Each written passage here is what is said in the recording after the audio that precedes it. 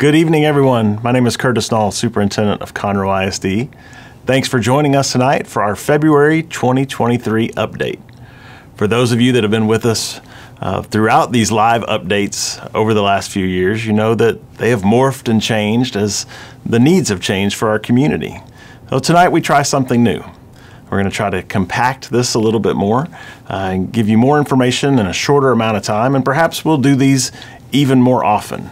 You know, during COVID, we had a lot of emotions to work through, and so it was important to do these live and to really be able to talk through our decisions and, and help you see and know the struggles that we were dealing with. But today, uh, as we've found a little bit more of a rhythm and we're back to normal, uh, we're going to try this new format. Hopefully, it'll work for everyone. And if you're new to these, the, the point uh, of having these conversations rather than just sending an email is to help you see um, that why um, that we make the decisions that we make. So uh, let me start with just Happy New Year. Well, it's been a while as I started preparing for uh, tonight's event uh, to see that we haven't spoken to each other in 2023. So I wish you all a happy new year. I hope you had a wonderful holiday. And we are excited to be back in school with so many great things going on. Uh, you know, this is a busy time of year, and I don't know what's not a busy time of year anymore. I was uh, at an event today, and someone asked me, "Is is this your busy time of year?" And I said, "Well, yes, it is." But so was November and December and August and May. And so I think for all of us, the world has, has, sped back up. And as things have reopened, which we appreciate, and we're getting back to normal, uh, we also feel that stress and strain of being pulled in a million different directions. But for us in the school business, uh, we're being pulled to a lot of great events. Uh, we've had uh, outstanding start of 2023. It started really with our science fair. The Conroe ISD Science Fair is one of the largest science fairs in the state of Texas. Um, you could see here uh, that we have great competition that occurs at the Lone Star Convention Center of our junior high and high school students. Uh, our students then advance from this competition to the Houston area competition and from there on to state, national, and world competition. But in addition to the traditional science fair competition that you think of, we also have a science festival which is an outstanding event. And if you haven't had a chance to go to that, I encourage you next year uh, to pay attention to the calendar and find a way to go out and bring your young ones to that event. This year's event happened at College Park High School, and as you can see here, so many people out on a Saturday morning, kids having fun learning about science. So that's something that we love, um, and we appreciated the opportunity to have that event. In addition to that, uh, as we've started this new year, we are uh, out on campuses delivering what we call ambassador awards.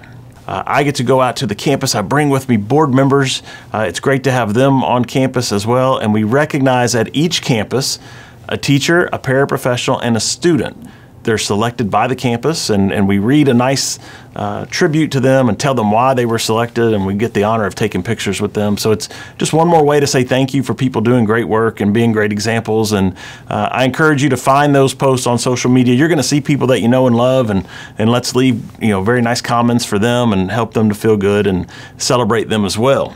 Now TMEA is another event that occurs, and uh, you know it wouldn't be education if we didn't have an acronym. Uh, TMEA stands for the Texas Music Educators Association Convention. That occurs each year in San Antonio here in February. Um, tens of thousands of people, music educators from across the state, uh, kind of converge on San Antonio, and there are multiple purposes. One is professional development for our music educators. So we have many of our uh, teachers there, and they get great professional development. But two, students that have earned the distinction of being an all state musician, they go and, and they participate uh, in uh, workshops and prepare for concerts that occur there. And then third, uh, as you see in these pictures, we have performing groups that actually perform during uh, the convention uh, for all the teachers that are present. This year, we had Collins Intermediate uh, the choir performed, and you could see these great pictures. That's a big room for a group of intermediate students that performed to. Uh, they did an absolutely beautiful job. Uh, it is my honor each year to go to San Antonio and, and, be there to celebrate with our performing groups because it is a difficult task to be chosen uh, to perform. Uh, groups from all across the state uh, vie for that uh, honor, and I'm proud that each year Conroe ISD has had someone uh, get the distinction of performing at TMEA. So, congratulations to Collins. Thanks for letting me be a part of that day. Uh, it truly was very special. Now, looking forward, the, the busy times don't stop, right? We we celebrated last weekend. We had uh, the Black History Parade here up here in Conroe. Looking ahead to this next weekend, we have the Go Texan Parade.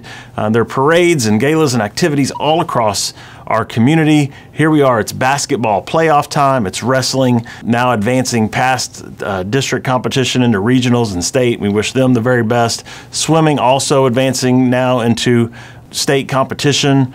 You have baseball, softball, track getting started, soccer wrapping up uh, their season, going to be looking uh, into post district play here very soon. So there are a lot of opportunities for you out there to get involved in your community, go out and see our kids in action, uh, in addition to all the great fine arts performances and academic competitions that, that will be occurring um, over these next few months. So I encourage you to get out, see the great things that are going on on our campuses. We have a lot to be proud of here in Conroe ISD uh, and appreciate everybody's work uh, that gives our students these opportunities.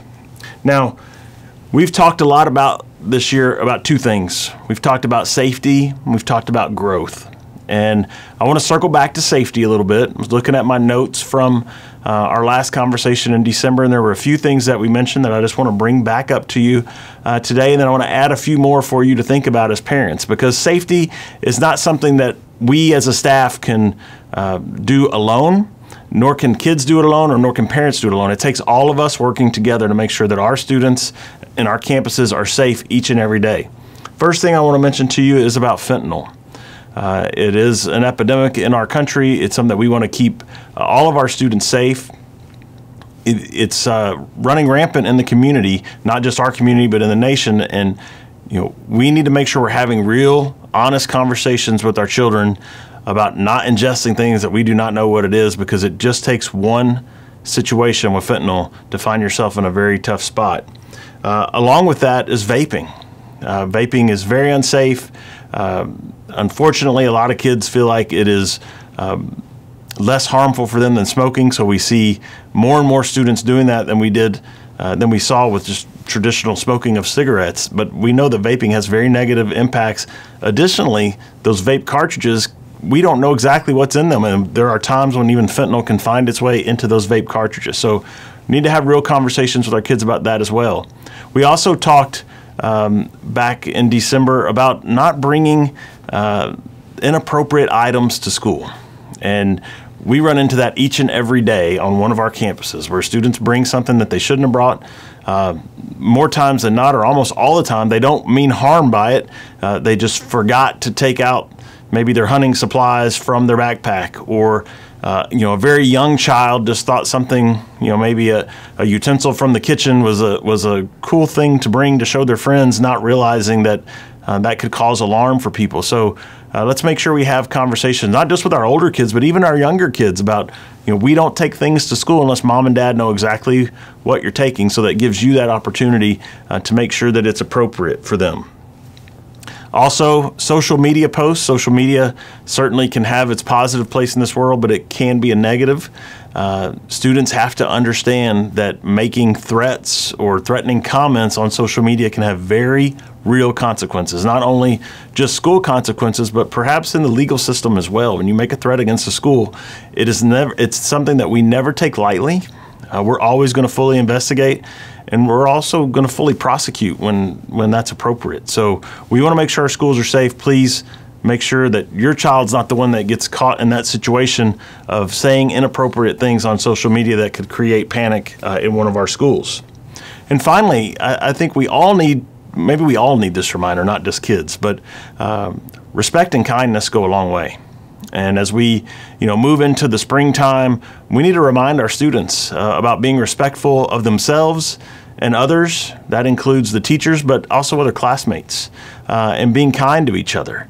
Uh, we begin to see a ramp up of behaviors that we wish we would not see on campuses, including uh, and leading up to verbal altercations that then sometimes turn into physical altercations. And certainly, when you have a school, be it a junior high, a high school with thousands of kids present, we can't have a society that turns to physical violence. Uh, that does not work. And so there are severe consequences when students do that, and, and there must be and there will continue to be. So um, please talk to your, your students about that. We want to make sure that we're keeping everybody safe on campus.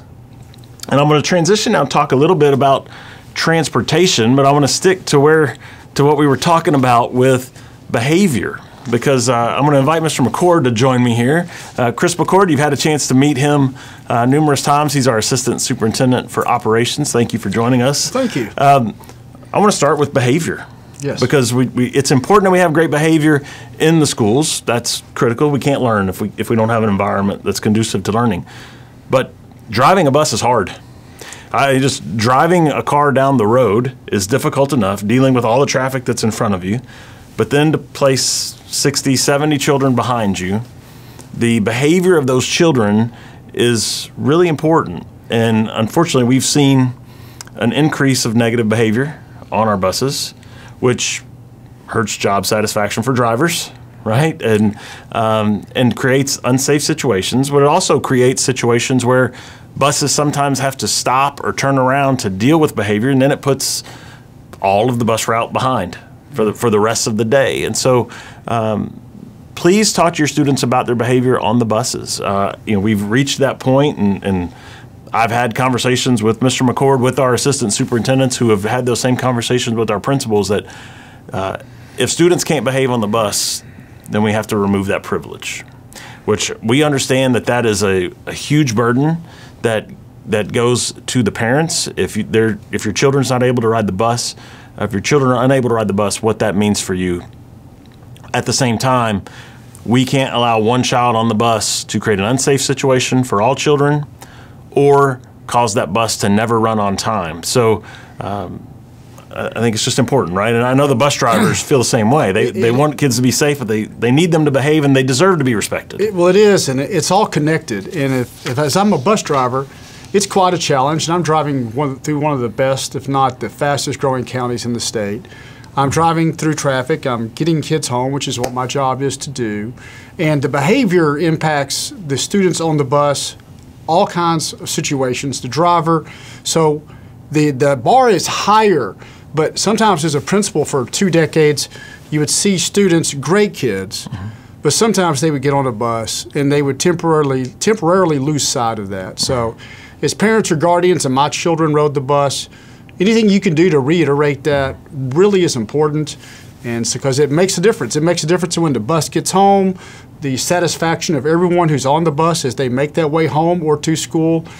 So just to back up, it's all connected, Dr. Yeah. Null. And we spent a lot of time this year, a lot of effort, not just, not just time, but different resources investing in trying to help our transportation system um, survive, really, Correct. in a situation where we've struggled to hire uh, folks and we've only kept it afloat because we have wonderful people.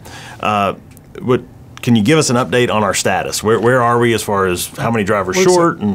Right now we have we're running about 380 routes every day. We have 20 vacancies, so we are hiring right now.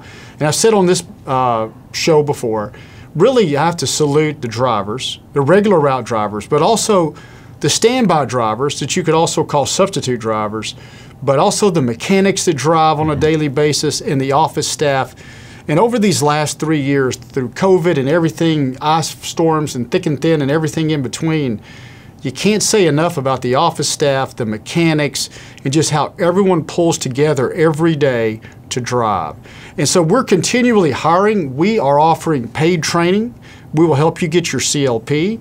We'll help you get your CDL. We will train you along the way and pay, pay you along the way to get it. And as we've remarked on this uh, uh, forum before, what really works best is having a dedicated driver that knows that route, that knows the kids, knows the geog geography, situations, the parents.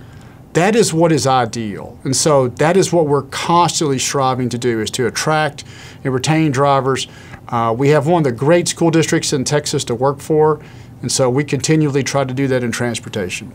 Yeah, so as part of this continuous improvement process that we've had in transportation, I think you joined me back in August, if I remember right, uh, and we talked about something that was coming in the future, and Yes, and then it, it was just so far out. uh, You, you know, it was just we were just talking about it hypothetically, but but it's here, and what I mean by it is Smart Tag. So Smart Tag is a new system that we have in place that has uh, many great benefits and uh, and we're we're now in the middle of the rollout of Correct. Smart Tag. Can you give us the the, the brief explanation of what is Smart Tag? So what Smart Tag is, it's really a system for safety. And it's a system that allows for safety of students for us to make sure that we have accounted for, that we're allowing students to get off at the right bus stop, whether it be in the morning or the afternoon, that the proper students are boarding a bus. It's a, it's a tool that I can have as a school principal that if I receive a question from a parent or guardian about where their child is or if they rode the bus or what bus stop they got off at, I can definitively now, whereas before, for the last 130 years of Conroe ISD, I could not definitively tell them, I can now. The Smart Tag, all it is, it is a tablet. And the tablet has a GPS. The only GPS is in the tablet. All right. It is on the bus. It stays on the bus. And it, so we can track the buses. Each child in Conroe ISD, whether they ride the school bus or not, is in the process of soon they either have or they will be receiving a, a, a smart tag badge. It is an inert piece of plastic. It does not have a battery. It is just a piece of plastic. So kids are receiving those. We've rolled it out so far in two feeders. We've started a third feeder today. They went this morning. It went swimmingly. Uh, they are going to be doing uh, on today. They're doing the first one in the third feeder, and then the last feeders will be rolled out soon. We've accelerated our process of rolling it out largely because it's been so successful. Once we formalize and finish the rollout, parents will be able to sign up and they will be able to track the history, the, the bus ridership history of their child. And that is something I, I might want to do as an uh, elementary parent, but even more so maybe as a secondary parent. But also, what we're really excited about and what we're vetting and are preparing to turn on in the coming weeks is an ability as a parent that I can receive a notification that the bus is arriving close to my home. Mm-hmm. My child will be exposed a less amount of time at the bus stop mm-hmm. to the heat, to the cold, to the rain. So having greater assurance of knowing when that bus is driving up, whether it be in the morning or the afternoon, that is something our parents have asked for for years. And so this is now a new day and age where we are on the precipice of being able to allow that to happen. I want to just circle back and, and please correct me if I get any of this wrong. So I'm a child. I have my ID tag, and it, once again, it's just embedded with a code. Correct. Um, it's not tracking the badge. There's no GPS in the badge. We're not tracking the child. But a child enters the school bus. They tap their badge on that Yes. tablet. And so that's how the tablet knows that the child's on the bus. When they get off the bus, they tap it off. That so that's how they know. So when the kid uh, is now at home, there is no tracking of the child. There's never tracking of the child. We're tracking the bus, and the fact that they scanned on or off the bus is what would tell us if they're on the bus. So Smart Tag is something that we are very excited about. Uh, I commend you, our transportation department, on the rollout. Uh, as mentioned, uh, we rolled it out first in Oak Ridge. It, when we went to Grand Oaks, we, we're starting in the Woodlands feeder now. So we were working our way through all the feeders. If you want more information, I'm going to show you on our website where you can go, uh, where all the questions can be answered. And so we'll, we'll pull up here the Conroe ISD website. If you go over here to more, you can go to departments.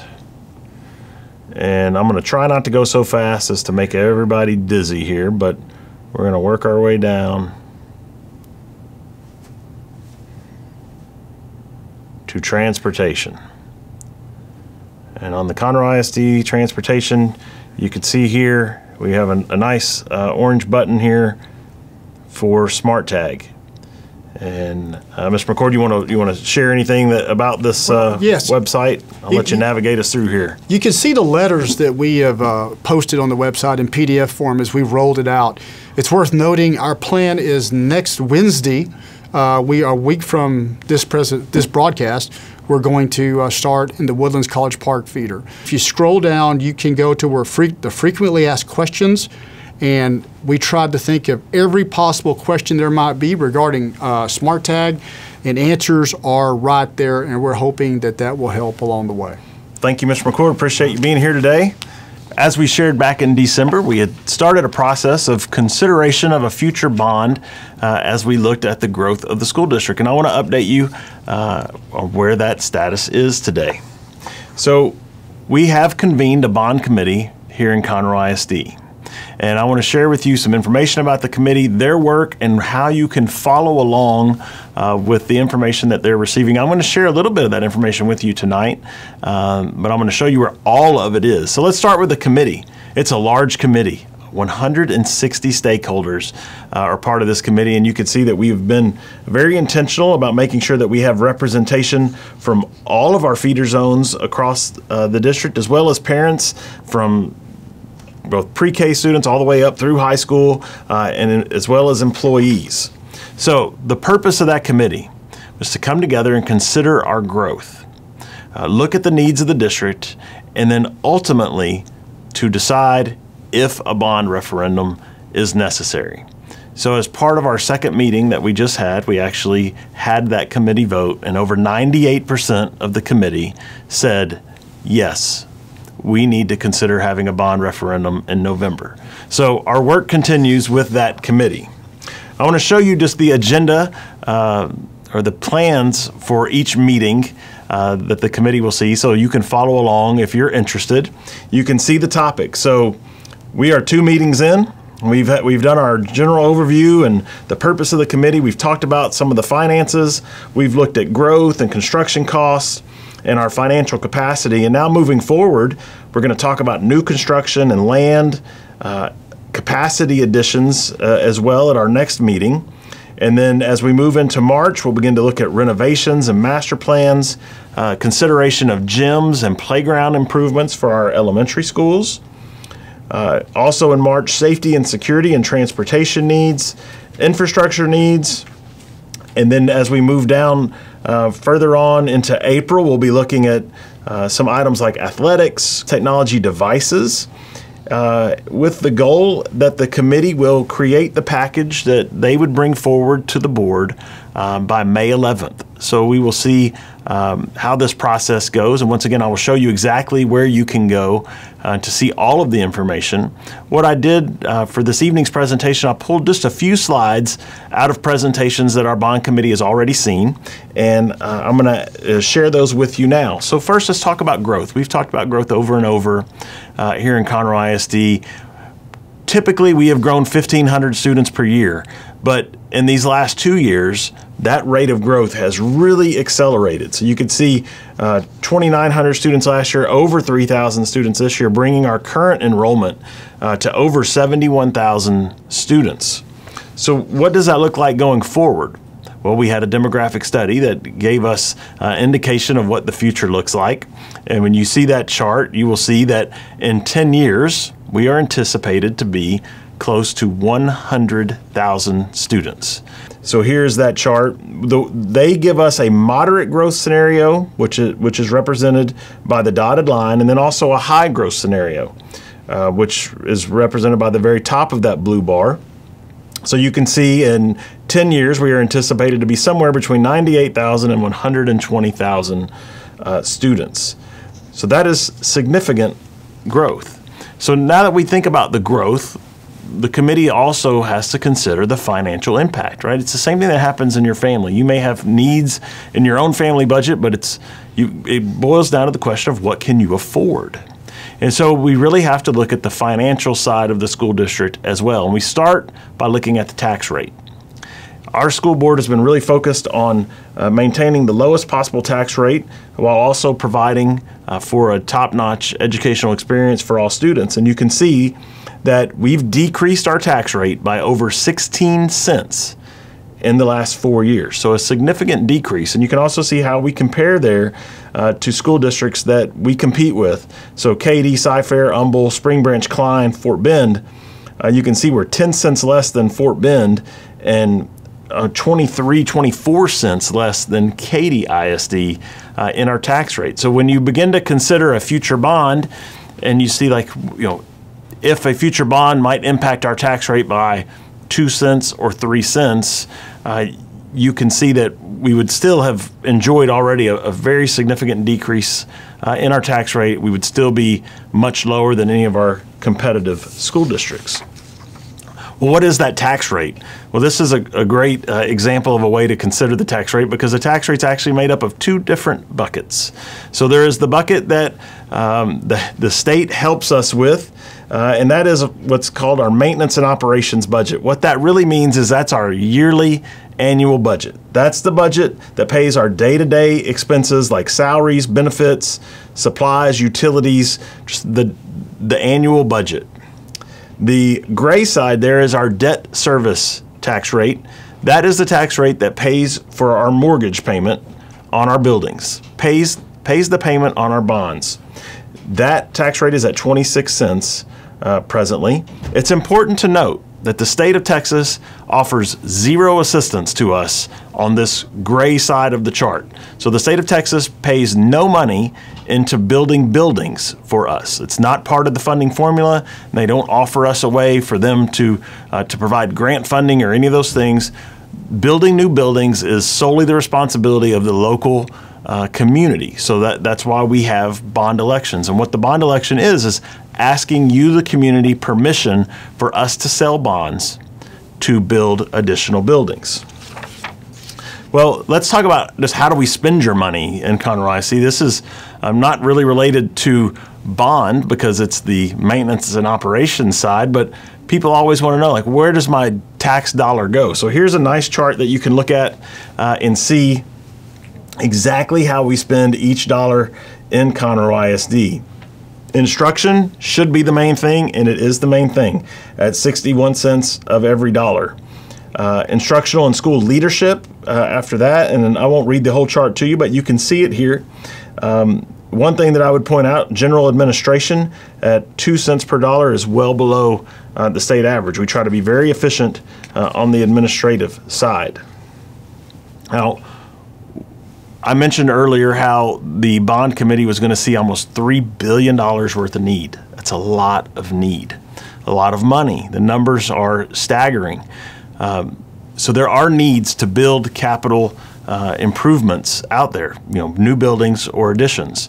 But there are other needs that will come in regardless of if we have a bond or pass a bond or not. And this chart will show you that um, kind of briefly. Portable buildings are something that we spend a lot of money on here in Conroe ISD. As we grow for 3,000 students a year, uh, to buy portable buildings would be roughly $25 million a year. Technology needs, we have to invest in more technology, um, it, not only on devices, but it's all that infrastructure that's out there, 20 million a year. Uh, and then infrastructure for buildings, roofs, AC heatings, overhauls, and then additional buses for all our new kids. So we have a $63 million need that uh, exists for us annually if we don't have a bond. So that question comes, what if we don't do a bond? If we don't have bond funds to pay for these items, and we have to use maintenance and operations, the general budget, to pay for these items. So that would mean that there is less money available in that side of our accounting for raises, uh, teacher salaries, supplies, special programs, all the things that we um, currently enjoy out of our annual budget. So that's significant uh, in that we go through a bond process. Sometimes people will ask the question, well, you know, my, my kid's school's not getting anything. This doesn't even impact me. Any bond program in Conroe or, or, or, wherever in any district affects, uh, impacts every child in that school district because it does play a role in all budgetary decisions that are made moving forward. So let's look at our bond history just briefly so you can know where we've been. Uh, and just like your family budget, there's the conversation about need, and then there's the conversation about what you can afford, as we mentioned earlier. So in November of 2015, we had $800 million of need, and we passed a $487 million bond. So we pushed some of that need down the road. We've done the same thing again in May of 19 as we had 1.4 billion dollars worth of need, and we and we uh, failed 807 million, so we had to come back, and we approved 653 million. So we pushed almost 800 million dollars uh, to the future. now we've experienced uh, unbelievable inflation and now this exponential growth. So our needs have pushed up to $2.8 billion. It is the job of the bond committee and ultimately the school board to make a decision about what is it that we can afford moving forward. Now, if you go to our website, and I'll show you where this all these things are, you can see um, the the tax rate impact of certain amount of money. Roughly speaking, about 1.7 billion dollar bond would be about three cents on the tax rate. So uh, that's something that they'll have to consider moving forward. Now, the numbers I mentioned are staggering right? We, we see this inflation, the numbers have, have really skyrocketed. One of the other thing about numbers for us in Conroe ISD is we're surrounded by a lot of smaller districts. So our numbers often sound um, very inflated compared to other districts because we have such a large enrollment. So uh, I would share with you now just a comparison of other local school district bond referendums. And you can see uh, our neighbors in Splendora had a $201 million bond referendum um, that they uh, were passed in November, and it was approximately $45,800 per student that was included. So for Conroe ISD, that would be like us doing a $3.4 billion bond with our uh, projected enrollment of 73,394 next year. Just another of our neighboring districts, Montgomery ISD, in May of 22, they passed a $327 million bond. And, and I understand that 327 million is a number that's easier to digest than any number that starts with a B. But at the same time, they only have 9,343 students. So at $35,000 per student, that would be like Conroe ISD doing a $2.6 billion bond. So our numbers are big because we are big, and I think that's part of what we all have to learn to digest as a community. So the bond committee is, has looked now at growth. They've looked at the financial impacts and they have told us, yes, we need to move forward with considering a bond uh, referendum. And so we will push forward with that, uh, with their guidance.